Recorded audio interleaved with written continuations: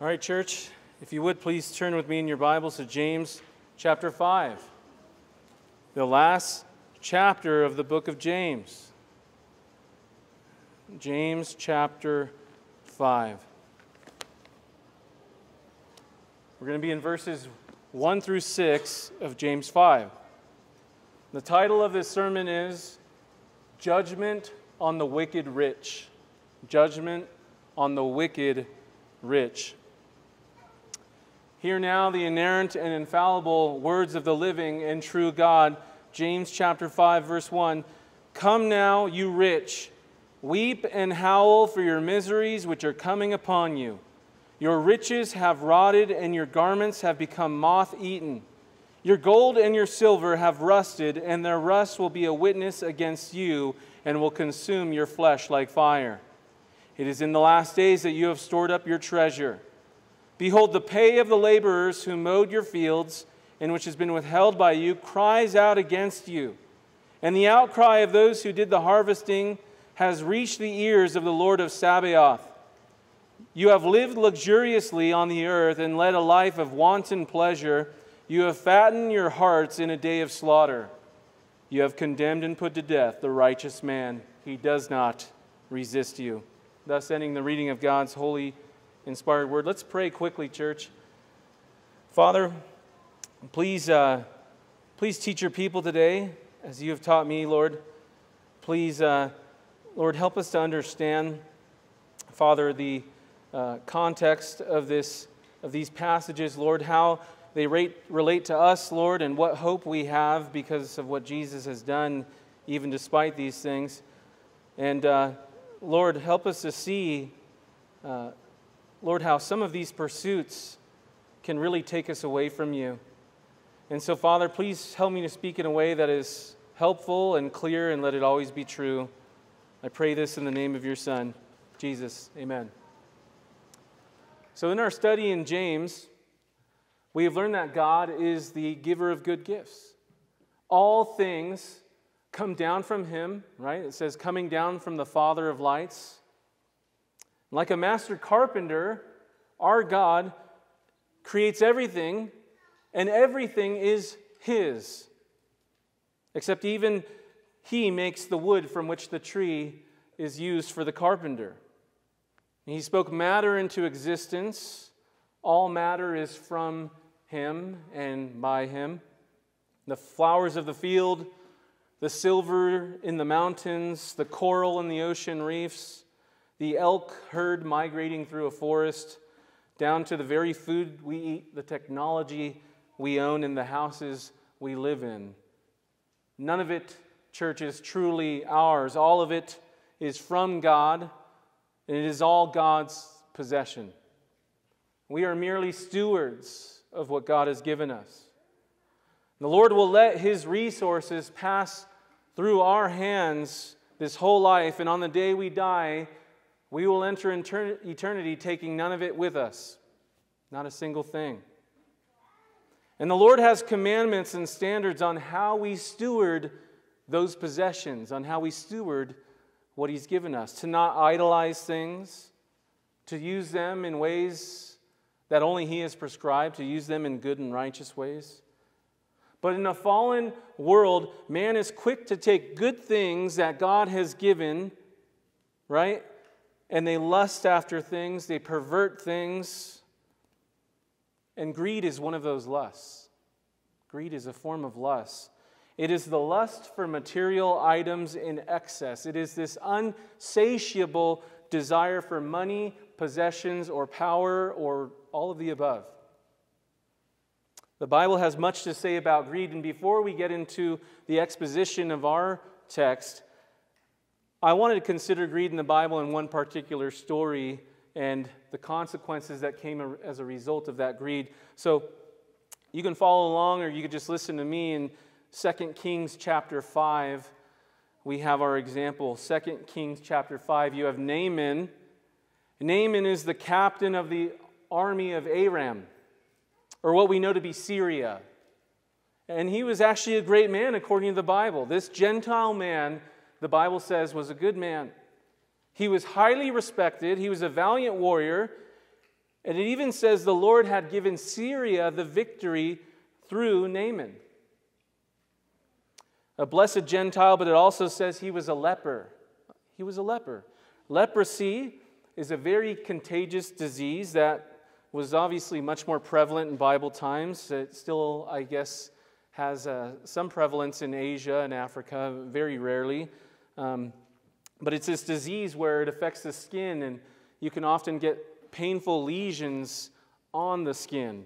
You can get numbing. You can get all these different things that come as a result of it, which result in uh, deformities and things like that. Leprosy, it affects the skin. He had a very, very severe case. Naaman's wife, though, had a, had a little servant girl from Israel, a little servant girl, and she actually adored her master. She adored Naaman and Naaman's wife, this little Israelite girl. And so she had told them, You need to go to the man of God in Israel. You need to go to the prophet so that you can be cured, she told him. So Naaman thought it was worth a try, and he asked the king of Syria if he could go seek healing in Israel.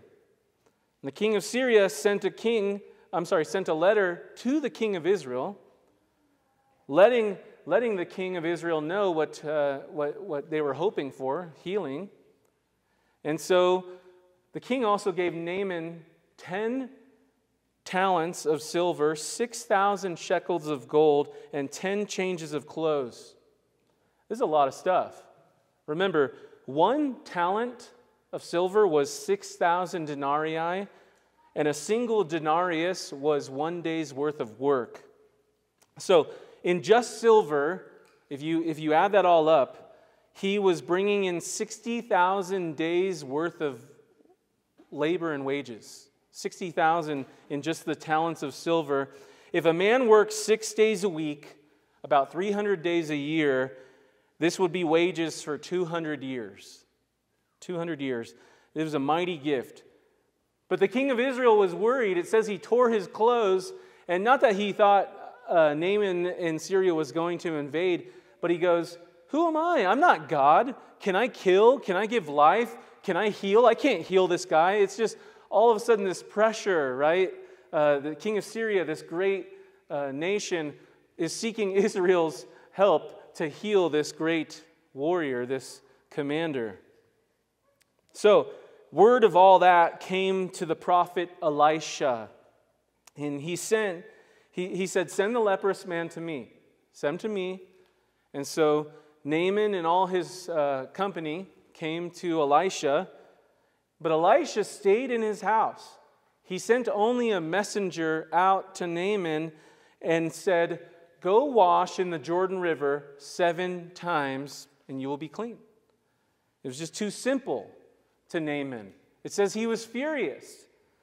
He thought that Elisha was going to come out, he was going to stand over him, he was going to do something probably fantastic or spectacular looking. He was going to call upon God, right? He was going to call upon Yahweh, and all of a sudden uh, uh, place his hands on him, and this cure would just miraculously happen on Naaman's body. That's what Naaman thought.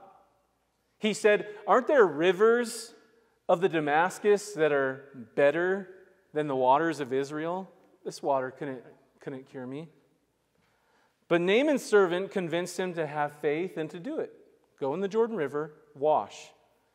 And it says that Naaman went into the Jordan River, he washed seven times, and his flesh was restored to him to the point that all the leprosy was gone, and that his skin, it says, was that of like a, like a newborn baby's, like a child's skin. His skin was so, uh, so, so renewed. He was clean. So Naaman, with all his company, after being cured, they go right back to Elisha's house and they come to him and they want to offer those gifts. You've got to take these gifts. He urges them to take the gifts, but Elisha refused.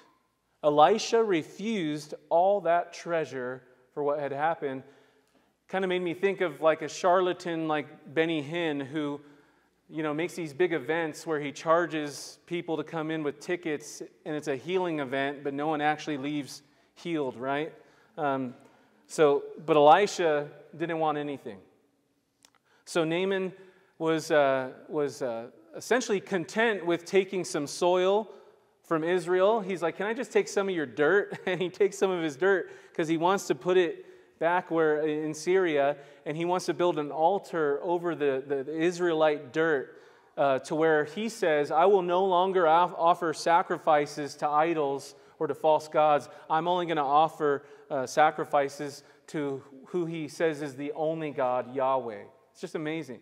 It's amazing. But something changes here. Something changes. Gehazi was a servant of the prophet Elisha. And greed had overtaken Gehazi's heart. Without telling Elisha, Gehazi ran after Naaman and then caught up to him. And Gehazi lied and said, Prophets have come, Naaman, and we need a talent of silver and two changes of clothes. He lies to him. So Naaman, in his generosity, he says, No, please, I insist, take two talents of silver and take the two changes of clothes. Take them. So Gehazi takes these riches for himself. He takes these garments and he stores them in his own house for his own selfish possession, not for anyone else. He lied for self gain and for the fulfillment of his greed. The word says, But Gehazi went back and stood before his master, and Elisha said to him, Where have you been, Gehazi? And Gehazi said, Your servant went nowhere. Nowhere? Just kind of shrug, remind me of, you know, something kid would say. Nowhere, I've been nowhere. Um, but of course, Elisha is a man of God. He knows. He knew before he even asked. Did not my heart go with you when the man turned from his chariot to meet you? I saw everything. God told me everything that you did, essentially.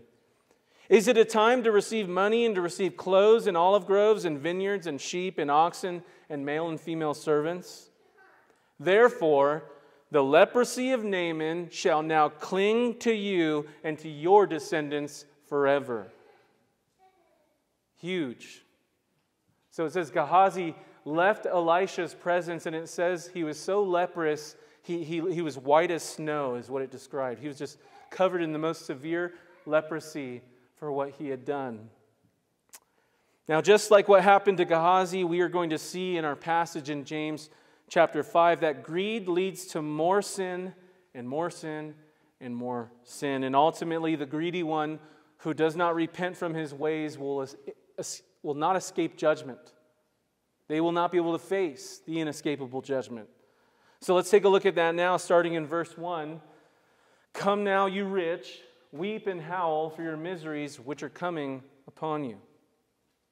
And remember, in James chapter 1, we went over the rich brother who is to glory in his humiliation. In James chapter 1, we preached on that. We had determined, even in James chapter 2, that it was not uncommon to see a brother with wealth to come into their assembly. They were to just not practice personal favoritism toward that more wealthy brother.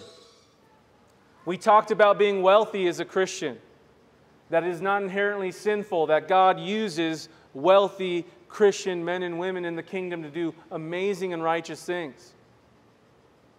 Uh, but as Paul says, it is the love of money that is the root of all evil, all kinds of evil.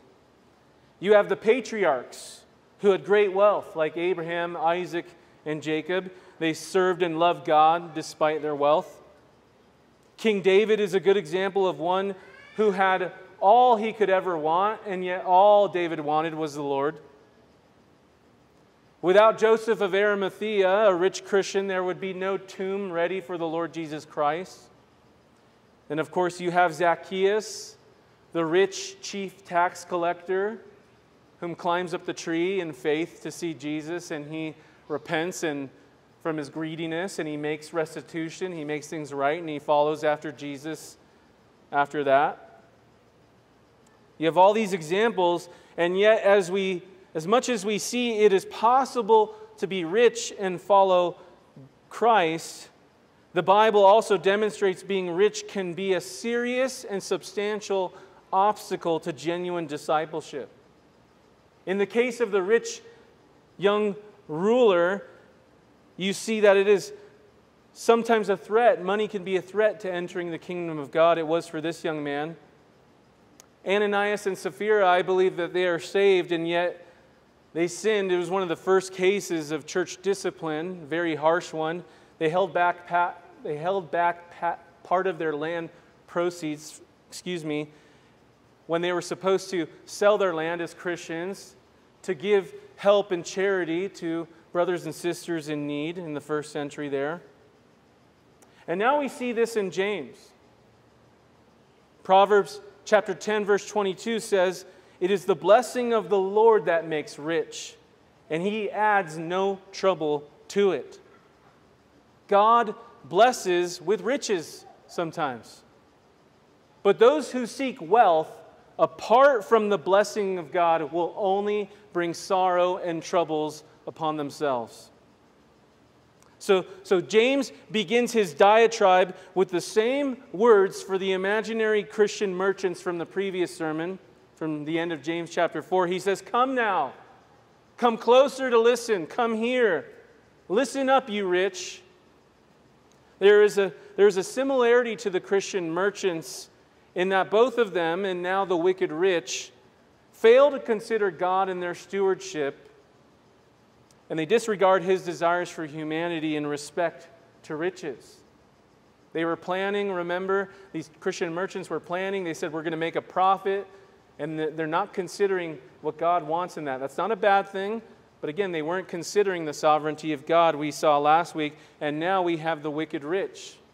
Also, not regarding God. So it says, that they are howling. They are to howl, right? He, he's, he's sounding like an Old Testament prophet in a way, if you read this.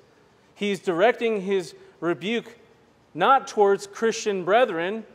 He is, he is like an Old Testament prophet speaking against the rich who oppress Christians in their lands. We are not certain if the rich would have even heard this indictment, right? He speaks out. He's not talking to Christians, he's speaking to the wicked rich. But this is not unlike what, what the prophets used to do in the Old Testament. They would often herald judgments on neighboring nations, but none of the neighboring nations would have delegates or people to hear those judgments. He, they, you know, Isaiah would, would say these prophecies and these woes and judgments against, uh, you know, Assyria and Babylon and Egypt and all these things, and yet they would not often hear it. And this is, this is possibly the same thing. James is just kind of sidestepping in his letter.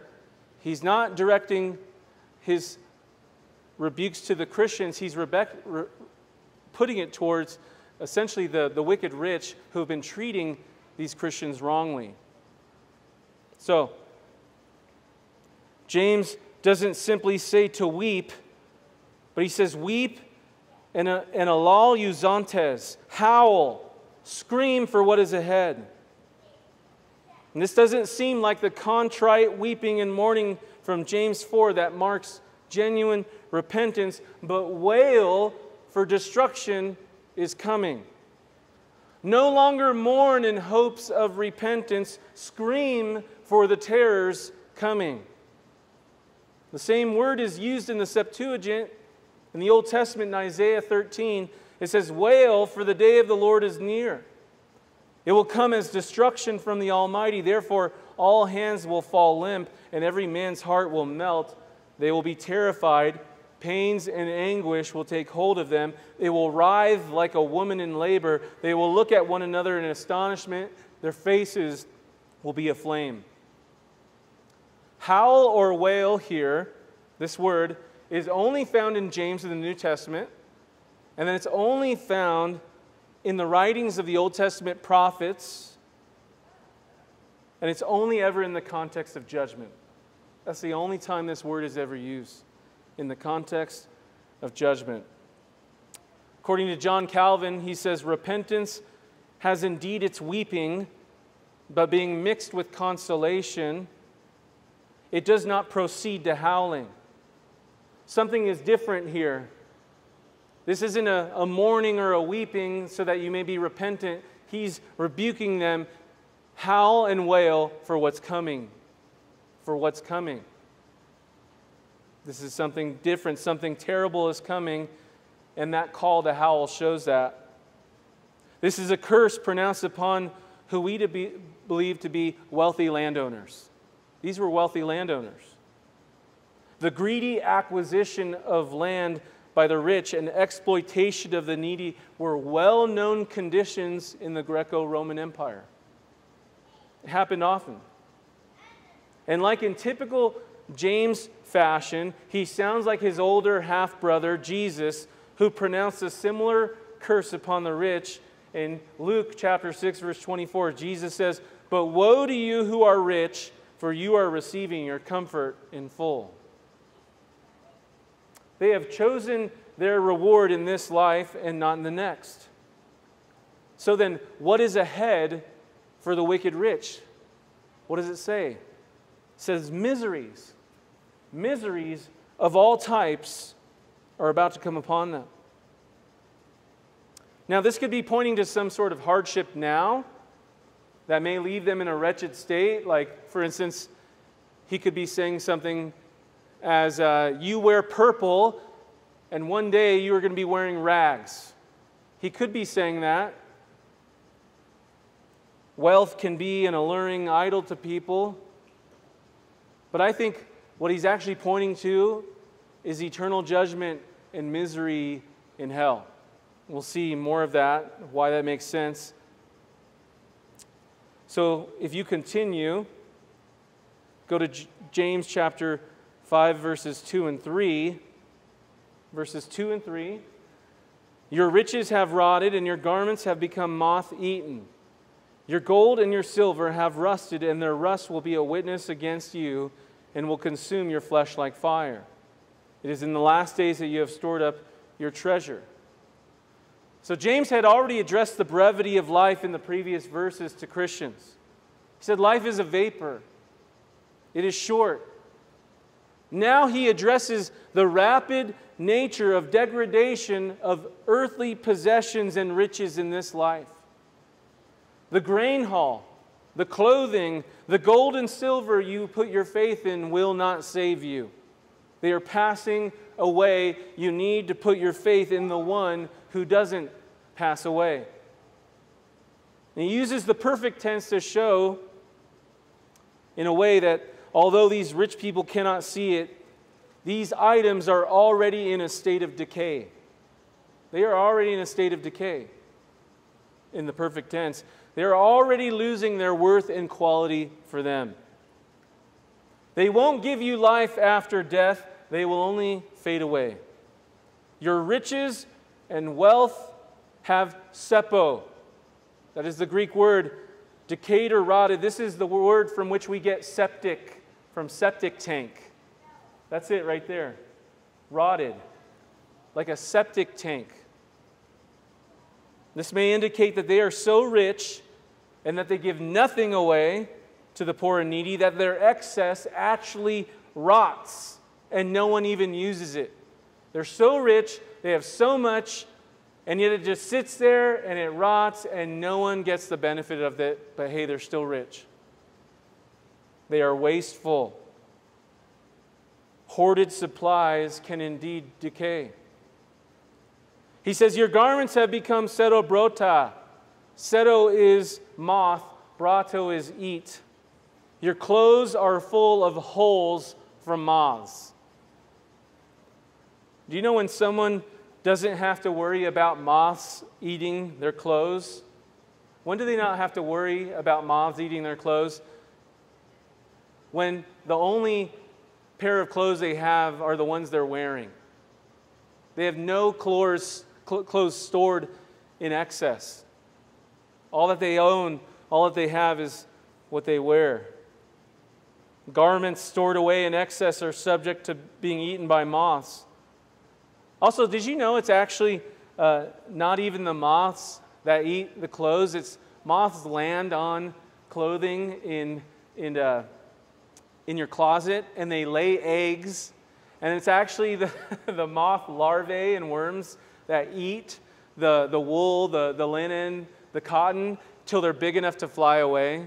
So, anyways, I'm sure a lot of you could have gone your whole life without knowing that, but uh, was interesting. The wicked rich don't share their abundance of extra clothing with the poor. Isaiah 50 prophesies of the servant who is Jesus that will be crucified. Isaiah 50 it says, Behold, the Lord God helps me. Who is he who condemns me? Behold, they will all wear out like a garment. The moth will eat them. The moth will eat them. This sort of speech about moths in the Bible is always in reference to dis- decay or destruction. Always. You used to have wealth, but now it is decayed. The wheat in the storehouses is rotten. You used to have extravagant clothing, but now it has holes. What you have valued above God will now become worthless to you. What you value above God will become worthless to you, to you. And when you value things above God, when you idolize things and they become worthless to you, typically you either want that idol to become uh, fresh in your eyes again if it's become worthless to you, or, you know, God is often very gracious in making an idol pitiful and repulsive before you. I've known brothers who have been addicted to alcohol, and all of a sudden, God made alcohol repulsive to them and disgusting to them, and they, and they don't drink anymore. They don't get to drunkenness anymore, I, I, I should rather say, since drunkenness is the sin there. And so that is often a grace from God. However, this isn't the case for the wicked rich here. This continues to escalate for them.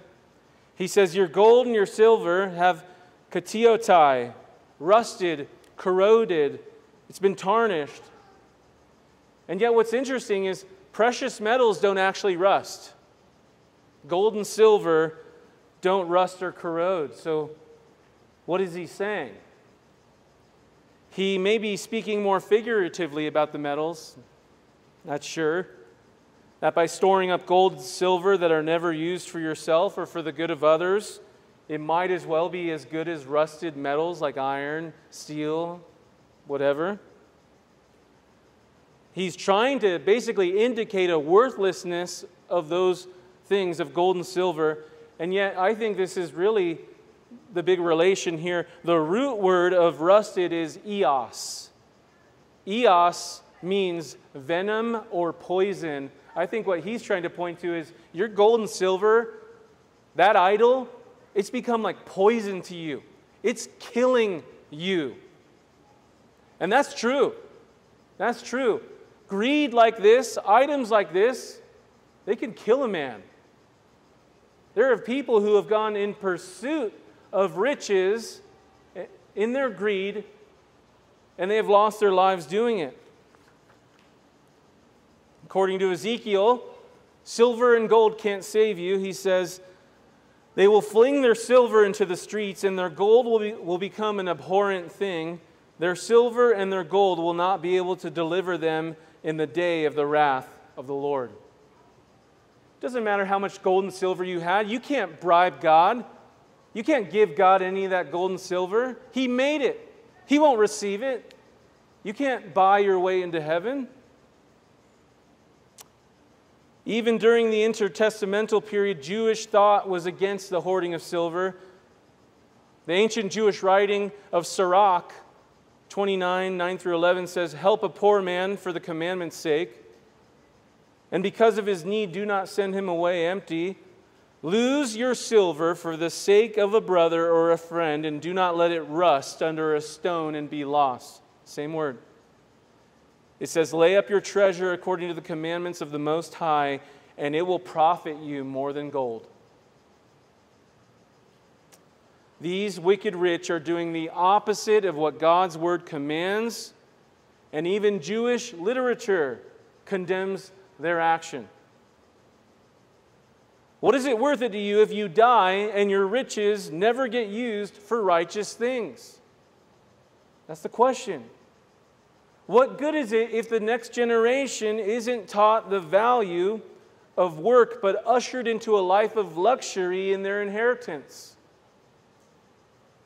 And that's not to say an inheritance is bad.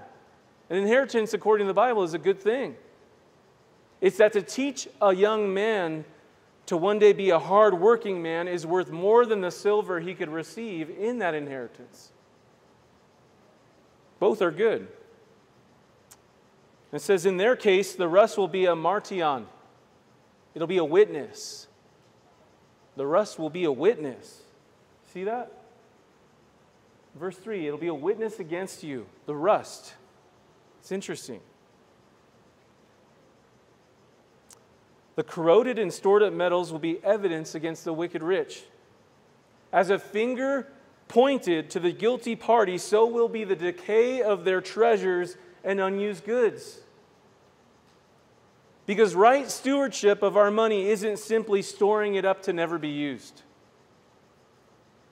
Hoarding our money is not good stewardship. The Bible makes that clear. We should save, we should make an inheritance, but we shouldn't be hoarding and storing up. We're going to see that. Good stewardship of our money also contains how we give it back to God as tithes, as offerings, as, as helping the needy in our community. And this storing up will be a witness to them, it'll be a witness against them. It'll stand there. All their riches, all their unused riches and treasures will be a witness in the courtroom of heaven. Their abundant pleasures were worth more than the great need and destitution of others. So, the rust will not only degrade and destroy their riches, but it says it'll eat their flesh, it'll consume their flesh like fire. Essentially, he is telling them all the corrosion and all the eating away of your riches, it's going to happen to you too. It's going to happen to you, he's telling the wicked rich. At high temperatures, fire can destroy almost everything garments, uh, uh, flesh, gold, silver. It can melt it at the right temperature. You name it, it can burn it. And this is alluding to God's judgment on them. This burning. Amos 5 6 says, Seek the Lord that you may live, or the Lord your God will break out like a fire, and he will consume with none to quench it. The rust will consume their flesh like fire. It kind of reminds me of Herod in the book of Acts. Do you remember in, I think it's Acts chapter 12, where Herod comes out in the royal apparel and purple, and he looks all rich, and and he starts speaking to the people, and the people say, uh, you know, he is like a God. And it, and it says that he stole the glory away from the Lord. He didn't, he didn't rebuke any of that, and he took the glory from God. And, and it says an angel of the Lord struck him, and he was consumed, consumed by worms, right? Different sort of consuming, but very similar as this rich leader gets judged. So, this is pointing to someone filling a treasury up with valuables. What they've stored up on earth will in no way help them after the vapor of their life evaporates. According to one commentator, to be wickedly rich is to be spiritually bankrupt. To be wickedly rich is to be spiritually bankrupt. They have stored up not righteousness, but they have stored up pleasure. And as the Apostle Paul says, they have stored up wrath for the day of wrath. Stored up treasure for the last days is, is not like positively setting money aside, okay? That's a, that, that's a good thing. That's not what he's talking about for the last days of your life or something like that. You should set aside some money so you can care for your family in your old age. You can care for your, uh, your, your health care and things like that. That's not what he's saying when he says last days. This is language that is typically used before what's called a coming day of the Lord. A coming day of the Lord, a day of vengeance is coming. And it may be pointing to probably the final judgment, is what I think it is. He's saying, You have piled up wealth in an age that is near its close. Maybe he's talking about 80, 70. Judgment, though, is coming. Your full storehouses will be, will be replaced with equal amounts of wrath. Jesus says in Luke chapter 12, a man is a fool destined to die who stores up treasure for himself and is not rich towards God. So the question is for us are we storing up treasure for ourselves here on earth? Are we putting our faith in the possessions that we have and the comforts of this life? Are we showing that our treasure is truly in heaven? Let this cause us to consider if we cling too closely to our possessions, to our earthly treasures. But now James is going to go beyond his indictment and he's going to list some, some accusations against the wicked rich. If you go to verse 4, he says, Behold, the pay of the laborers who mowed your fields and which has been withheld by you cries out against you, and the outcry of those who did the harvesting has reached the ears of the Lord of Sabaoth. So his charges were a bit general at first, but now they're more direct. Now they're more specific and they're pointed in nature. Not only will the gold and silver be a witness, but now James has specific evidence that would show them to be guilty. The misthos, the pay, the reward, the wages of the laborer who reaped their fields has been defrauded from them. They've been deprived of their payment, stolen from them, the laborer's wage. And this, these wages, it says, cries out. The rust cries out, the rust is a witness, and now the wages are a witness and cry out. They shout against the rich landowners. Think about it. The harvest is over, the fields are empty, and the barns of these wicked rich are filled to the top by the unpaid labor of Christians. They're filled. This goes directly against the law of God and was one of the biggest sins of Israel that led to their exile. Greed and not taking care of the needy. Leviticus 19:13 says, "You shall not oppress your neighbor." They're being oppressed. He says, Nor shall you rob your neighbor. The wages of a hired man are not to remain with you all night until morning. That is to say, if you have a, a laborer in your fields, you are to pay them that day. You are not even to wait till morning, God commands. Jesus' parable of the workers who got paid at the, end, at the end of the day was a very real concept then. It was a very real thing in the first century as well. Because the, the prayer for daily bread was legitimate. A lot of times we think about that, of course, in regards to the Word of God, but they legitimately needed their daily bread. They needed to eat, they needed the Lord to provide for them. Each day they needed their pay to often buy what they needed for their families. These workers cut the grain, they bundled it, they processed it, they beat out the chaff, and they kept the grain from spoiling out there in the field.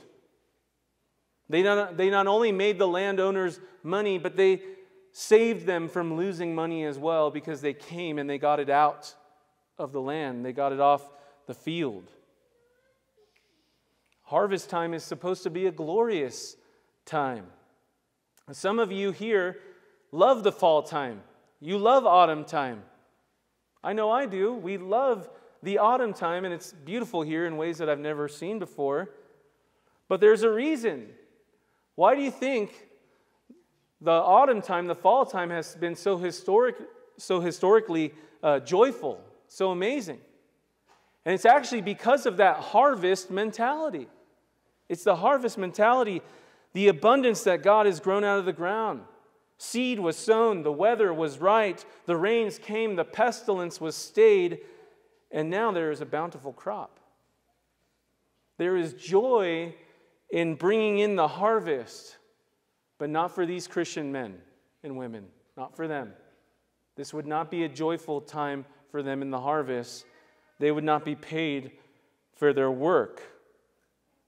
They must cry out for justice, No one but God could defend them in this case. Deuteronomy 24 15 echoes Leviticus, but it adds an extra element to it. It says, You shall give him his wages on his day before the sun sets.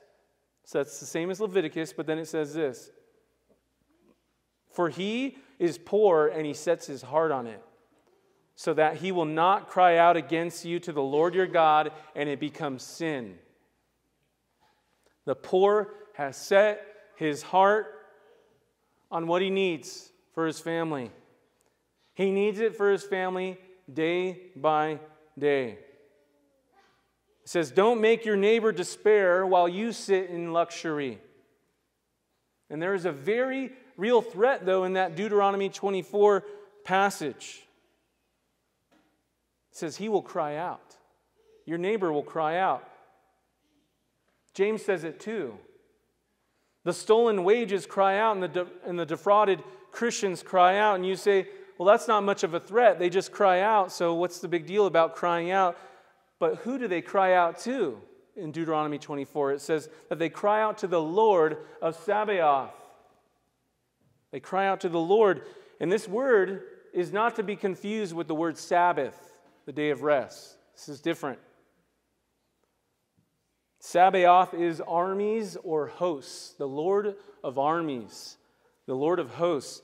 This is, you might remember the line from Martin Luther's A Mighty Fortress is our God. It says, Lord Sabaoth, his name, from age to age the same, and he must win the battle. That's because he is the Lord of armies. He's the Lord of armies. The shouts and pleas of those who did the reaping have arrived at the at, at the ears of the Kurios Sabaoth, the Lord of the Sabaoth. The commander has heard what they've done. The Lord of the armies of heaven and the armies of the earth has heard their cry. The stolen wages cry out like the blood of Abel cries out to God for justice. They cry out like the Hebrews who needed a deliverer when they were in slavery. Excuse me.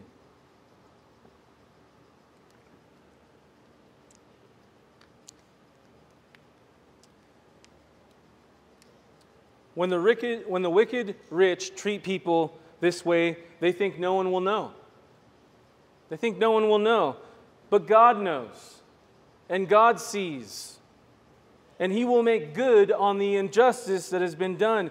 Every single injustice on the earth for all time will be addressed by God. And just picture him on his throne, seeing all, knowing all. He can see their defrauding of these Christian men and women. The angels confirm it to his very ear. It has reached the ears of the Lord of Sabaoth. He will make it a point to act in his timing and in his will. Lord of Sabaoth is holy, so he will judge all not made holy by Jesus. He is powerful, so he will avenge the powerless. He will punish all those who punish his people. May we never see this and defraud others. May we never greedily withhold from people, but be generous givers. May we be men and women of integrity. If you own a business, if you're a manager, never steal from your people, never keep back from them. In fact, give them more. Give them the bonus that they need. Give them the love and appreciation they deserve. Give them the pay raise. Don't withhold it. Don't be stingy, the Bible would show us. And let us not always be looking to get free things from our neighbors or our brothers or our sisters, but pay them for the work that is due. Christians should be willing to pay and pay well. Hoarding is a curse, but giving blesses both parties. Hear that? Hoarding doesn't bless anyone. Hoarding brings a curse upon the hoarder, and it doesn't bless the one who needs from that person, but blessing blesses the person who gives and it blesses the person who receives. The accusations continue. Go to verse 5. You have heard you have lived luxuriously on the earth and led a life of wanton pleasure. You have fattened your hearts in the day of slaughter. The wicked rich have etruphesate, they have splendor, they have lived in splendor, they've lived in luxury, they've lived in self indulgence. And this would be a life of constant, continual feasting and drunkenness and self indulgence and worldly pleasures of all type. That's what James is pointing to. And it's clear that the money that was owed to the workers has been used for this life of luxury. They are living essentially an extravagance upon the backs of Christians. Squandering, wasteful. Ezekiel 16 says, Behold, this was the guilt of Sodom. She and her daughters had arrogance. Sodom had abundant food and careless ease, but she did not help the poor and the needy Thus they were haughty, then they committed abominations before me. Therefore I remove Sodom and Gomorrah before me. If we can't see that that's the sin of America, then we're blind, right? That is the sin of America. In fact, we see in Ezekiel 16 and Romans 1 that the end result of careless ease, of luxury, of wanton pleasure is doing that which is unnatural. Basically, what I'm trying to say is the sodomy and transgenderism that we see in our country today is a result of, according to Ezekiel 16, a life of luxury, ease, comfort, and not giving to anyone and not caring about anyone, but going for the American dream in such a way to make it an idol above the gospel of Jesus Christ. It is a result of, it is sin, of course, but it is a result of what Ezekiel says was their true sin in Sodom. That's where being led over to do a debased mind to do the things which were unnatural comes from. And the phrase on the earth makes it clear that although they have indulged in pleasures upon the earth, they will receive torments elsewhere. Oh, yeah, you've had pleasures on the earth, but you won't have pleasures in heaven. There is a sort of role reversal going on. You see that especially in the parable in Luke 16, which, with the rich man and Lazarus, right? Lazarus was laid at the gate every day, his body covered in sores, he was lame, he had nothing, he would beg for alms, and the dogs would lick his sores. That's, what that was Lazarus' life in this parable in Luke 16. But it says, The rich man dressed in purple every day. He was rich. And he, it says he lived joyously every day and in pure splendor. However, after they both died, Lazarus was taken to heaven. It says he was taken to Abraham's bosom and he was comforted there. While it says the rich man went to Hades, Hades. In the Greek, you pronounce it Hades with epsilon and eta. Epsilon, I'm sorry. So the rich man failed to love his neighbor, and all he could hope for, it says, was, was, was one drop of water to cool his tongue. You remember that? But he couldn't even get that. The rich man didn't even receive one drop of water to cool his tongue. And that story is very similar to the indictment upon the wicked rich here by James the wicked rich have led a life of wanton pleasure. The only other time this word is used in the New Testament is in 1 Timothy 5 6 concerning widows. Paul warns about widows that they would be productive, that they would, they would not be going from house to house as busy, busybodies. And especially, Paul was concerned that widows would not be given over to fornication. It says this but she who gives herself to wanton pleasure is dead even while she lives. 1 Timothy 5 6. The one who gives themselves to wanton pleasure is dead while they stand. The question is do we give ourselves to just wanton pleasure, just limitless pleasure? Sometimes we might want to, sometimes we try to. But we have to repent from that. We have to repent from laziness, from idleness. And they are likened to domesticated animals being fed excessively, indulging in an over the top manner, gorging themselves on pleasures destined for the slaughterhouse. Their lawlessness, their revelry, their carousing, their debaucheries, their orgies and pleasures will lead them to the day of judgment. Doom is coming for them. What they think gives them the most pleasure is just fattening them up for what's to come, building upon themselves more wrath. The Lord told Israel before the exile, The days of your slaughter have come. And there is no remorse here in the wicked rich. This isn't someone getting ready for something that is coming soon.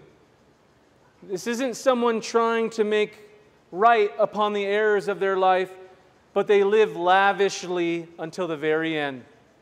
They are blind to what's coming. That's the picture that we have here. And now, for the final and most damning accusation from James, go to verse 6. He says, You have condemned and put to death the righteous man, he does not resist you. The wicked rich have given, according to the Greek, a guilty verdict that makes one subject to punishment. This is likely that the rich have brought Christian laborers before the judge. These, these landowners have brought these Christians before a judge and they falsely accuse them so that they wouldn't have to pay the wages that were due to them. So they kept crying out, the Christians kept crying out, Give us our pay, do what is righteous. And the indication here is that the wealthy landowners brought them before the local judge, made false accusations, got false witnesses to come and confirm what they said, and they were punished and sentenced to death. That's heavy. That's huge. Some don't think this was a literal death, but figuratively, by depriving them of their wages, it would lead to death in a way. But I did a thorough word study on on ephoneusate, and that 90% of its use is murder. The other 10% is the word, uh, the indication of put to death, which can be righteous or unrighteous. Murder is always, of course, unrighteous. Most of its uses are actually murder. James wants them to know the truth that murder was taking place. They were brought before a judge they were sentenced to death. The Christian laborers cried out too much for them. They had them killed. And this word here that says the righteous man, this is actually in the plural. It means the righteous ones. These are Christians, the righteous ones. These are people made righteous by Jesus Christ. These were people who didn't deserve to die. God takes this very seriously. He says through the prophet Micah this concerning people who have been neglected and oppressed. Here's what the prophet Micah says They covet fields and then they seize them. They seize their houses and take them away. They rob a man and his house, they rob a man and his inheritance. The women of my people you evict each one from her pleasant home. From her children you take my splendor forever, for the rich men of the city are all full of violence. Now hear this, heads of the household of Jacob and rulers of the house of Israel, who abhor justice and twist everything that is straight, who build Zion with bloodshed and Jerusalem with violent injustice. Her leaders pronounce judgment for a bribe her priests instruct for a price, and her prophets divine for money. Yet they lean on the Lord, saying, Is not the Lord in our midst? Calamity will not come upon us.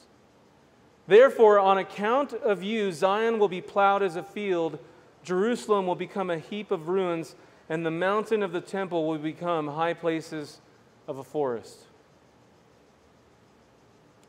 her leaders pronounce judgment for money. You get that? That parallels this verse. Her leaders pronounce judgment for money. They build Zion with the blood of the saints. Our Lord gets righteously angry when the rich oppress his people, and these Christians do not resist. They may be too powerless to oppose the wicked rich, but the Lord will. The Lord will. And that's what's encouraging. We see a courtroom in this passage where Christians stand trial, but a day is coming where the wicked rich will be in the heavenly courtroom, and their rusted gold and silver and the pay withheld from the laborers, along with the laborers themselves, will cry out against them, pointing to the true culprits, and the Lord of hosts will condemn them and put them to death, and their flesh will be consumed by fire. That's what's supposed to be encouraging here. Is that although Christians have been oppressed throughout the ages, God will make right. God will have the vengeance. God will do what is necessary, even if you have been mistreated in this life. Very, very hard words, this passage, very hard words, this sermon, but I had to, I had to give the text its due diligence. So, as I wrap this up, there are some things I want you to consider from our passage, some things I'll reiterate. If our biggest takeaways from this is, well, I'm not rich, and I don't do wicked things like these rich, then we've lost the point. At the beginning of this sermon, I mentioned how it is not sinful to be rich. That is absolutely true. That is true, and I get that. But I don't want us to lose the weight of what this text is saying. In Western culture, we can so easily compare ourselves to the richest of the rich, the richest people in our society, but we too are rich in many ways. We are capable of doing some of these things. We may not do exactly these things or take it all the way to murder or theft, but we often seek too many pleasures in ways that God has not prescribed. Pleasures are good. We talked about that a couple sermons ago. But pleasures in a way that God has not prescribed is what we need to abstain from. We can sometimes not store up our treasure in heaven, but store it upon the earth. There may be, there may be people in this country, people part of the church, who hoard what God has given them to steward, but it's never given to anyone else. The wealth is stored up and given, none is given to churches or the needy. So, again, are we hoarding for ourselves today. If we are, we need to repent. Build an inheritance, take care of your family, but no, don't neglect the other things. It's not an either or, it's a both and. And if you have been defrauded here, church, by the wicked rich, you have the Lord of Sabaoth who listens intently for your cries. He will vindicate you. And it's actually happening to us right now in this country. Thomas Sowell says inflation is, is in effect a hidden tax. The money that people have saved is robbed of part of its purchasing power, which is quietly transferred to the government that issues the new money. So the current inflation has been caused by the greed of the American people and the greed of our government. Wanting money from daddy government and they were foolish enough to print it and disperse it. And look, I don't regret, I don't regret anyone who desperately needed it who got it. I don't. That's, that's fine. I'm glad people who needed it got it. But diluting the currency of your citizens is defrauding them, it is stealing from them. A day's worth of work is now worth far less for us. Sure, you experience that. You, rent, groceries, everything you look at is higher here. Slavery is the end goal of such greed. So, like James, I declare as, the, as a minister of the gospel for our government and for its leaders to wail and howl for what is to come. I charge our leaders to stop defrauding our people lest they experience the same judgment that has been pronounced on these wicked rich. I'm serious about that. They have done evil things to this nation, they will be held to account. Listen, if you if you have been having a hard time making ends meet lately or finding housing, trust God. Trust God. He will provide. I've seen it. I've, I've seen it with people in this church who didn't think it could happen, and God has provide, provided for them. He will help you bear this burden. I believe that. May He bring people to help you. And finally, I just want to say who does verse 6 remind you of? You have condemned and put to death a righteous man who does not resist you. That is Jesus Christ. Jesus Christ was defrauded by his people in the house of Israel. Jesus Christ was the God in the Old Testament from whom the wicked priests no longer tithed anymore, who gave spotted and lame sheep, according to Malachi. He said, You have stolen from me. Jesus is the one from whom Judas stole out of the money bag and sold his very life for 30 pieces of silver. Church, if you have been cheated, you have a Savior who was too. And he will not fail to make good on the judgment of the wicked rich, and he will not fail to bring you into his kingdom. We need to pray for the wicked rich. We need to pray for those who are in leadership in our nation. We should pray for their repentance. But this is the warning. James 5 is what's coming, and they need to know that truthfully. So, for those who are rich, heed the warning you have seen here, and you will receive treasure imperishable in heaven. For those here who are in need, if you are in Christ, you will be comforted and you will receive treasure imperishable in heaven. Let's pray. Father, we come before you. Thank you, Lord, for the message that went out. Please bless it. Lord, such a very harsh language, uh, uh, very sobering, Lord, what James is saying here, but it needs to be said. So, God, I, I thank you, Lord, that as Christians, there have been those who have oppressed our people for many, many generations, and yet you will have justice, you will have the vengeance. You say, Vengeance is yours, you will repay. We don't have to be worried about that. It's all in your hands. God, please continue to provide for our people, provide for your saints, Lord, that they may be able to take care of their families, get the medical treatment they need, to have shelter, to have food. Lord, please help us, even though these characteristics here may not be us. They seem almost so far from us, Lord. Help us to take heed to the warnings here. Help us to not hoard up things. Help us to give freely and generously. Help us, Lord, to not store up treasure on earth, but to find Christ to be our treasure in heaven. We praise you, Lord. We bless your name. Pray this in Jesus' name. Amen.